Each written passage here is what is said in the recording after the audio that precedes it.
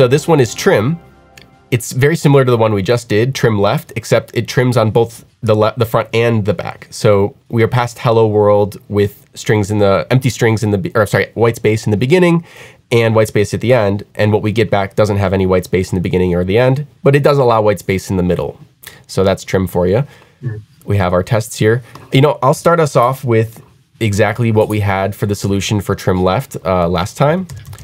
If anyone wants to see that, it's the video pretty much right before this one. So go take a look at how we arrived at this example. But yeah, we basically need to trim left and trim right. I feel like. What? Do you, what? How would you solve this? Yeah, I guess we similar approach.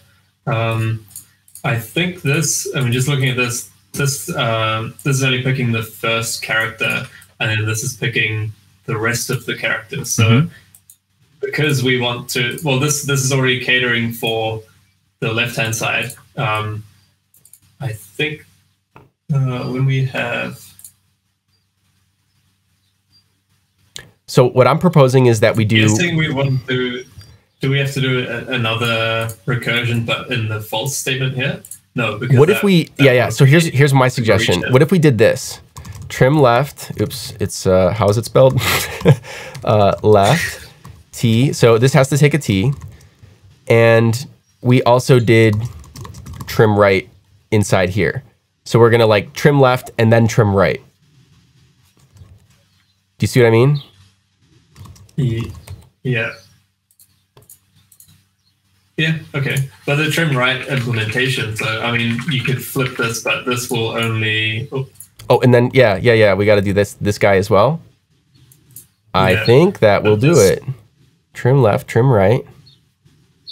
And for you, well, okay. Because, Yeah, yeah, it does. Why do we have uh what, what's Oh, the right, error right. here? Okay, the reason that it does it is because we don't have it in first statement here, so it's not it's not picking the rest of the characters. It's just saying oh any white space, Ah, right, right, any right. single So white space character. we can fix the the error by by forcing it there to be a string with a generic constraint. Yeah, Okay. cool. We did it. That's trim. Uh, There's another way. So I looked online for other ways that people solve this, and there's this one. Let's just disable that top one. So this passes all the tests. You can see here they're all good to go, no errors. But let's look at this. So this has the generic constraint. They use S. Um, I wish I wish they hadn't used S. Can, can we change this really quick? Can we change that to U and change this to T? Okay. So they're saying does T extend, and then they're giving it a union, does T extend one of these two things? If it does, trim it, but pass in the thing that was trimmed. Do you get it? Yeah, Isn't this So, I mean, tricky? it's just both of these combined. Yeah, it's like it, but they're like in the same. It's cool. I, they're they're in the same little clause here. So this all is one thing. If Well, it's it's. I mean, it's the same clause because if you look at these two, the trim left and trim right, the only differences are is well is this it's this condition here as part of the extends, and then Mhm.